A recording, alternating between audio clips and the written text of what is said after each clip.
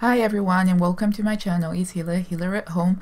Today we have a product review, the Breville Traditional Crepe Maker review which we've had for two years now. We are a large family, five kids and two adults who absolutely love having bacon pancakes every Sunday morning and also celebrating Pancake Day here in England. And that necessitates a decent pancake maker.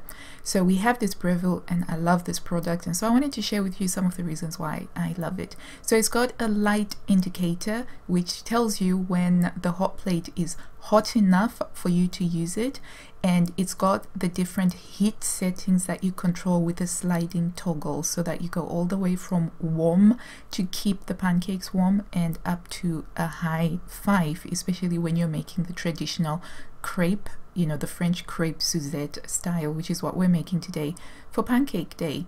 So it is a very versatile uh, piece of equipment. It's made of aluminium, so it is very lightweight and easy to carry around and store.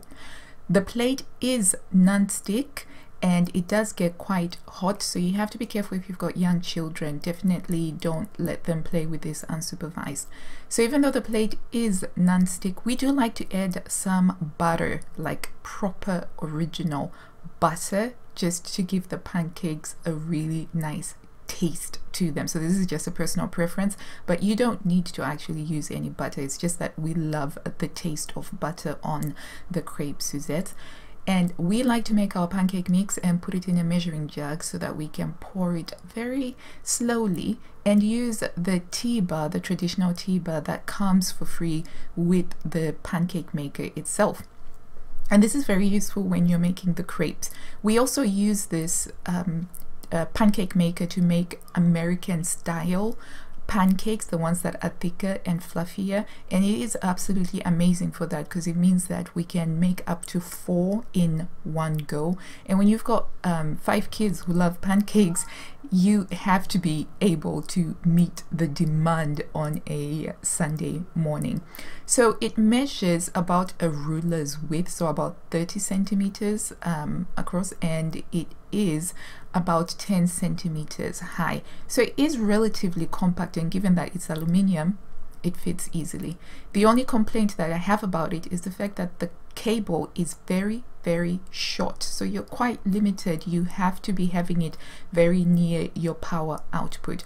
But apart from that this has been a very valuable addition to our family life and it has definitely made making pancakes both the American style pancakes and the traditional European crepe Suzette type pancake so much easier and very little cleanup.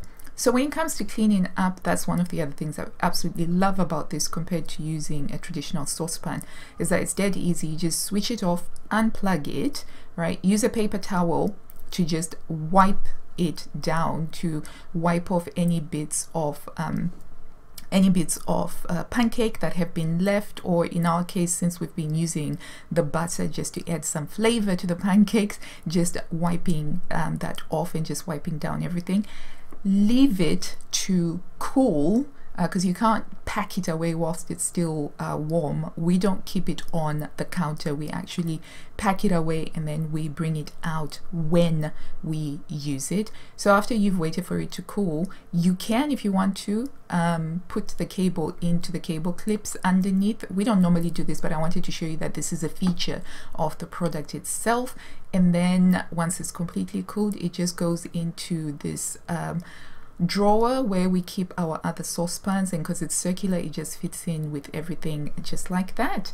I hope that you've enjoyed this product review. If you did to give the video a big thumbs up and uh, do subscribe to the channel. I put out product reviews very regularly and until I see you next time everyone take care now. Bye